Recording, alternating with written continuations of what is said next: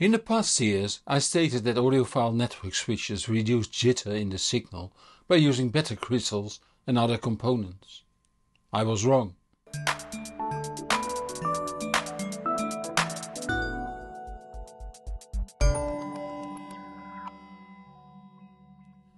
Let me start by saying that my knowledge of networks is sufficient to get streaming equipment played properly.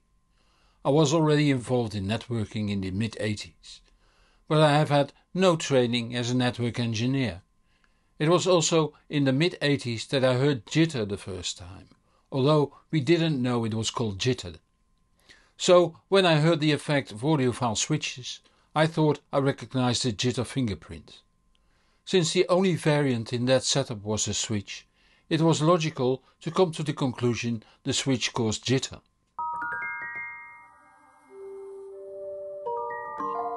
But, so I was told, a network can't transfer timing information, at least not to the precision needed for audio. The audio data is packed into packets that are sent from one IP address to the other and not even necessarily in the correct order.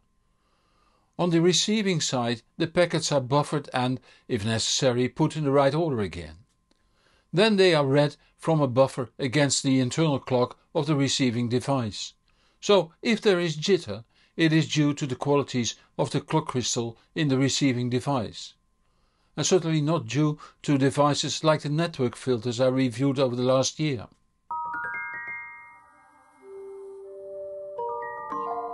But if it is caused by the crystal clock oscillator in the receiving device, there should not be a difference between an audiophile switch or network filter in place or not.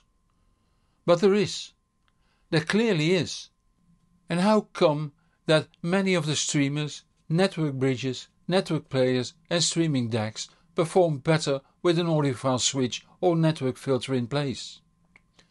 I know of only one digital player that doesn't sound different with or without an audiophile switch in the network.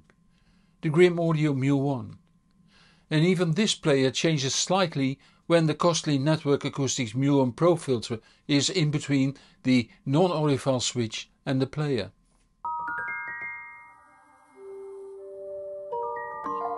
My understanding of the phenomenon started while reviewing the Uptone Ether Regen switch.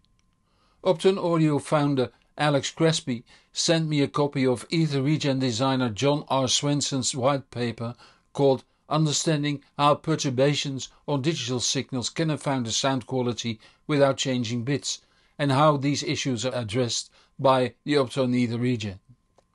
It is now published on the Uptone Audio site, a link in the description below this video on YouTube. Although being rather open about his theories, Swenson did not publish measurements to support it. It requires equipment that costs a fortune to buy and maintain. Products like the EtherREGEN can only be developed by smaller companies and independent electronic designers that have spent enormous time and effort to acquire their knowledge. Their main drive is understanding what's going on, not what money there is to be made. I'm rather thankful to Swenson and some unmentioned designers that confirmed his findings and were so kind to help me forward. In short, it is the contamination of the analog signal that is used to transport the digital information.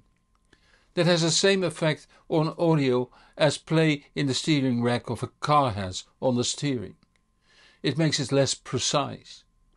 And as the less accurate steering in a car is immediately clear to people that are used to driving a new or well maintained car, the contaminated analog signal used to transport the digital information is easily identified by people that are used to listening to quality audio.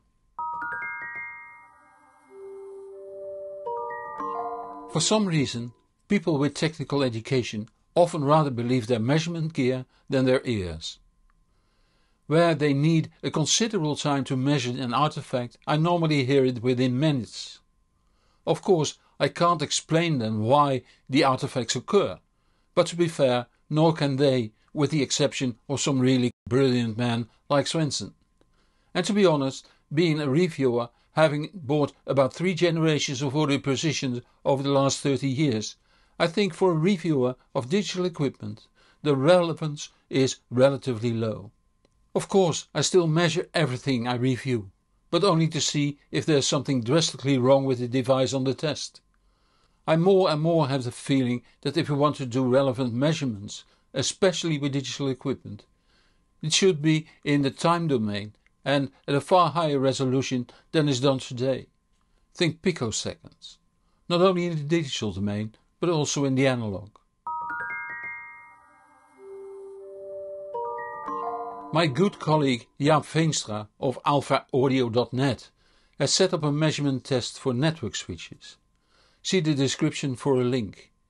He not only spent a lot of money on equipment, filters, certified converter plugs, a device to isolate the device on the test from the network and so on, he even bought a third hand to hold a test probe on the clock input of the DAC chip inside a Volumio Primo since holding the probe by hand already had influence on the measurement. Why would you want to measure the clock input on the DAC chip? Well, as we have seen digital data remains intact even if the analog signal that transports the digital data is contaminated by a dirty power supply, ground loop, wrong cable impedance or other mishap. And as I have described in my video why digital circuits influence the sound quality, that can influence several components inside a DAC if the digital signal isn't clean, especially the digital to analog converter chip. Measuring on the clock input of that chip tells you how the converter can perform. To take it to the extreme I didn't use an audiophile switch but rather the network acoustic Muon Pro filter. That has great impact on the sound quality but is fully passive. So no reclocking, just passive filtering. See my review, links at the usual places.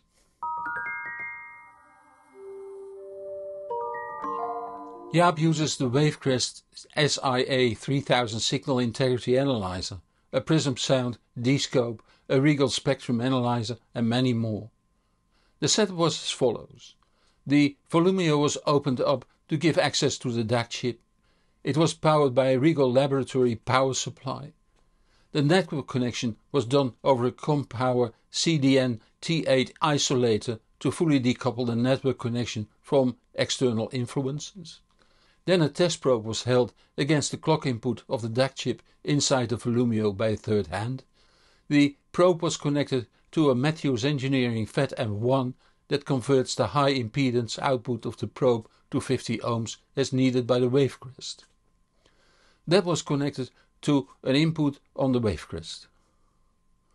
We first measured the frequency spectrum up to 500 MHz, after which the Muon Pro was inserted and the measurement was repeated. This gave about the same result. It seemed as if the filter wasn't doing anything. So we measured the spectrum with a Rigol analyzer that goes up to 1.5 GHz to see if something happened at the lower frequencies. Again, first without a filter and then with the Muon Pro in place. Again, no significant difference. So we went back to the Wavecrest to measure jitter and phase noise. This time we did see a difference. Without the Muon Pro in place, the average jitter was 14.553 picoseconds and the phase noise minus 32.804 dB in the lower 10 Hz range. Then we inserted the Muon Pro again. The measurements were done again and now the average jitter was 11.718 picoseconds and the phase noise minus 37.213 dB in the lower 10 Hz range. So the average jitter was down 2.835 picoseconds and the phase noise 4.409 dB. Especially the phase noise is clearly lower. Don't forget the dB is logarithmic.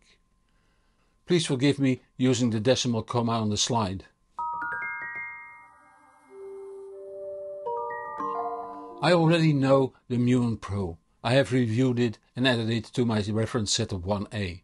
But Jaap was curious to hear the difference so we went to his listening room where a pair of TAD Evolution 2 loudspeakers are driven by a Pass Labs XP12 and X150.8 preamp power amp connected over Van den Hul Nova speaker cables.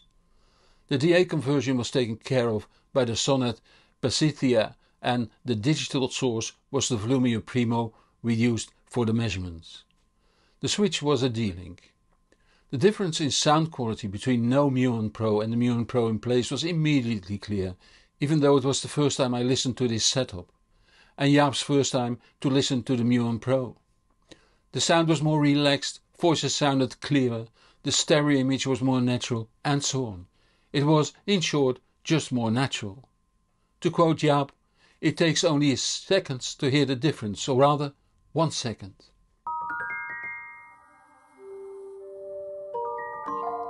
Remember, bits are bits, but the way they arrive at the DAC chip can have a profound effect on the sound quality. When using the right measurement equipment and method, it can be made visible in measurements. Doing these measurements is quite elaborate and takes quite some time. The measurements we did for this video took close to 2 hours. For something you can hear in seconds.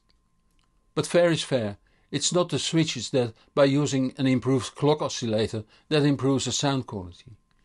It's the contamination of the analog signal that carries the digital signal as I explained in my video why digital circuits influence the sound quality. Whether you hear the difference depends largely on the quality of your stereo setup. Not only the equipment, but also the cabling, loudspeaker placement, acoustics and so on. And of course the quality of your auditory system.